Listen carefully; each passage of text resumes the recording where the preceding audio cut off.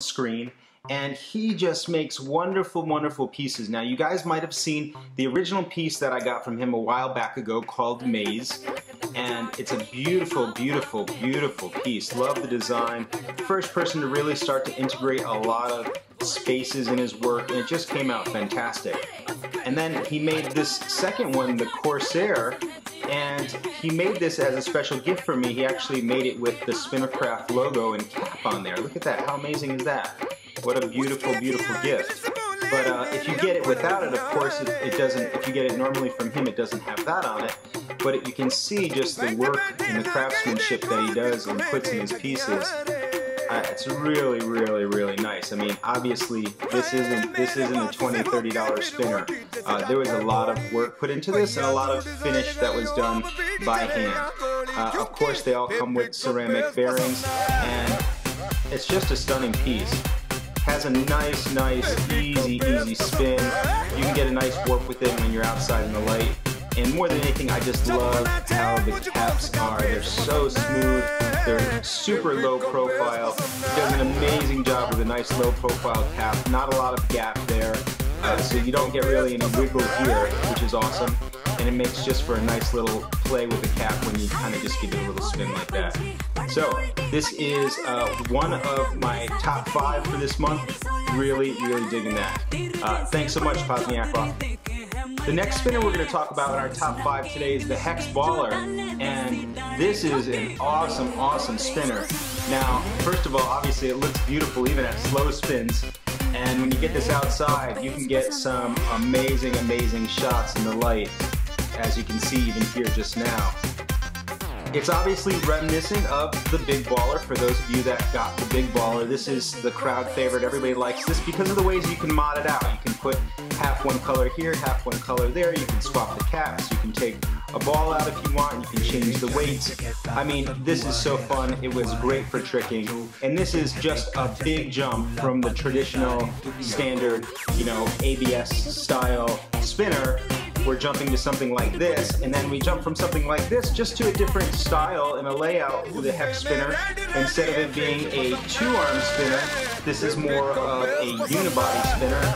Um, I guess you could kind of call it six mini arms, but it's probably more of a unibody spinner. And look at that, I mean, just easy, easy spins, stunning design. And the thing that I really like about this is it comes in the new rubberized plastic. So when you get a feel here, it actually has a bit of a different feel than the Big Baller. It has a nice, almost feels like a padded, cushy feel. Spins are super easy. Anywhere you put your finger, um, you're going to get a nice flip out of this.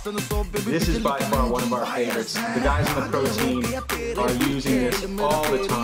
You get great great, tricks out of this spinner, uh, and it's a hardy spinner. And it's just, it's just fun overall. And the same thing, just like this, you can mod this out and you can swap colors. You can do half one color, half the other color if you want.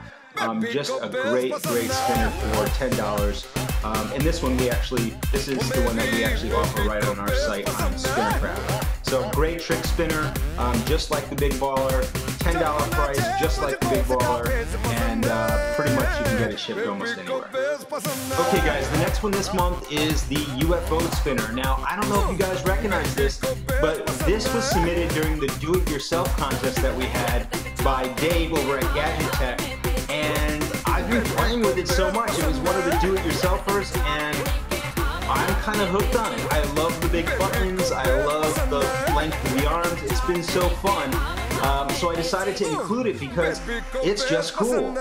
Um, Dave has a store where he has these all available. This is 3D printed, but it's a much higher quality than the average ones that you would get at home.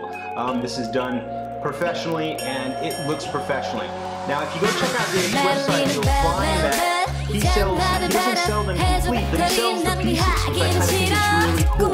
So you can kind of modify and create one yourself. Not only is this spinner um, having big, beautiful, beefy buttons for tricking, has an amazing, amazing finger feel, hand feel,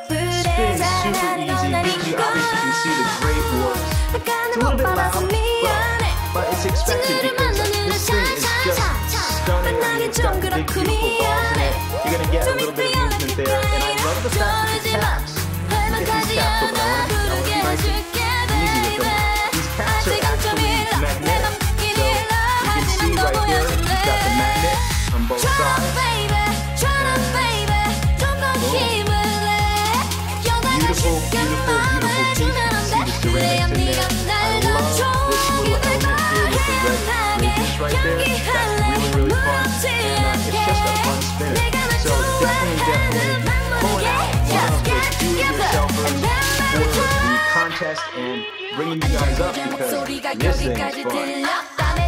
Okay, the next one on our top five is the Lil Baller from us, from Spinnercraft. And I love this spinner because, again, it's another one of the spinners that's in our $10 spinner series. Uh, so it's super affordable. And the thing that's so cool about this is, obviously, it has so many different types of functions. First of all, you can see right away we're playing around with the caps. You can swap the caps, you can swap the body, just like you can with the big baller, just like you can do with the hex baller. Um, so the little baller is no different. You can swap all that stuff out. You can use it as a regular. Super easy to spin.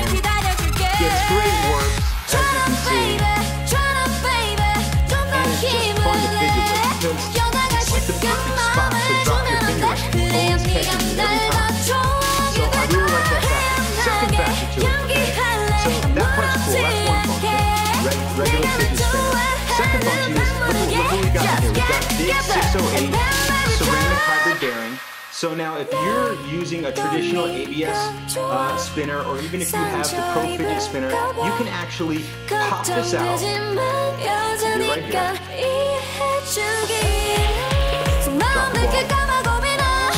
And then you can use this bearing if you wanted to inside your traditional ABS plastic. So this bearing is cool. You can use it in there or you can use it on your regular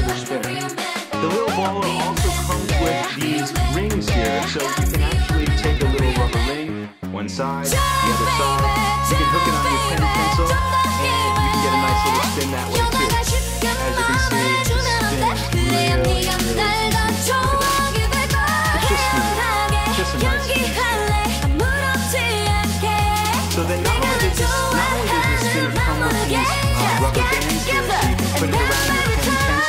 it also comes with an extra ball in case you lose one. And then I think this is a really fun feature too. It comes with this little spinning top uh, insert. So you can go ahead and pop the caps off. You can put the insert in.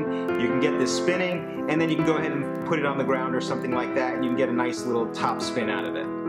And one of the coolest features that I like and that you probably already noticed is, is there's no screws on this. So there's no screws, there's no opportunity or chance to strip anything. This is actually held in place by the bearing. So if you want to take this apart, you just literally push the bearing out and that's it. Now you can swap colors. Now it's super easy. Definitely no way of messing that up. Um, it makes swapping colors super simple and that's it. It's as simple as that. So definitely go check out the Lil Baller. This is one that we have right on our site on Spinnercraft. You can see the link above if you'd like. This is definitely, definitely one of our top five, especially for being such a multi-use spinner. Guys, number five, from Metallic Revolutions, the 357 spinner. Look at this thing. I mean, I don't promote guns. I don't promote guns on this channel by any means, but this thing is pretty, pretty cool. I mean, obviously in the shape of the 357 Magnum, it has these beautiful brass slugs here. It spins like a dream. I mean, it spins beautiful. You can see the, the slugs go around. They, you can also get them in uh, silver if you'd like as well. But here's the coolest thing about this. I mean, check this out. We flip this over, and on the back, these are glow-in-the-dark slugs. So one side's brass, the other side is a glow-in-the-dark slug, and you can spin this and you can see the glow at night. And let me tell you how cool this is. See these? See these little slugs? Oh yeah. These things pop out, and let me tell you, they are a perfect fit. There is no messing around. This is amazing. I mean, each one of these is hand done, has a nice little seal at the top, uh, has a beautiful slug, and just go. You could even probably have fun with it. You could probably go two one way and two the other way, and it'll probably create a nice little fun pattern when you give it a spin. When it's all glowing. Same thing here. I mean, it's just a great, great, great spinner. I love it. I love the size of it. I love the style. I love how they did these slugs. I mean, it's just, I mean, there is, those aren't coming out. This is this is machine and precision uh, to the umpth degree. And this is a, high-end spinner, obviously. This was $165, you know, compared to, uh, you know, a $10 spinner or maybe that's going to be $15, $20 once you piece things together. Um, you know, like another one that's in the $10, $11 range. And then these ones were more high-end. These are, um, I think, in the $100 range. Um, but so this is definitely the most expensive one that we've gone through, but it's just a beautiful piece. And if you are a fan and are into something like this, I'll tell you, you probably you're not going to be you're not going to be uh, disappointed. Of course, everybody has a different price range. You know, this one's $165 and most people aren't going to be able to afford that. To be quite honest, if I wasn't doing these for reviews, I probably wouldn't be buying as many in the upper price range as well, but it's a collector's piece. You know, it took me, I think, a month and a half before this was made available, and my name was put on a list, and there's, you know, 700, 800 people on that list. So if that's your thing and you really want to look for something like that, then I highly suggest you check this out. Um, but I know a lot of times just the $10 one is cool for most of you guys, and that's totally fine. But I want to show you the whole range so you can understand what's out there and what's going on in the market. So guys, again, let's just line them up. Got our top five. Boom. We got the one from Gadget Tech. Go check out the link in the description. 357 from Metallic Revolutions. We've got the Hex Baller from Spinnercraft. We've got the Corsair from Pozniakov. And last but not least, we got the little baller from Spinnercraft. Thanks guys so much. Now, let me answer one question for you. I know a lot of people have said, hey, you, are talking about the ones that you sell in there. How come you're talking about the ones that you sell? Like, are you just saying that? Well, guys, this is how it works. I go and I research and I go and I try to find some of the best spinners for you and I try to present them the next month. So if I've done research and I'm looking and I find an amazing spinner that I can show you guys, well, of course it's going to be in my top five that month because I just searched really hard trying to find that spinner for you. It's not like I'm doing a top five and just saying, hey, what do I have in stock?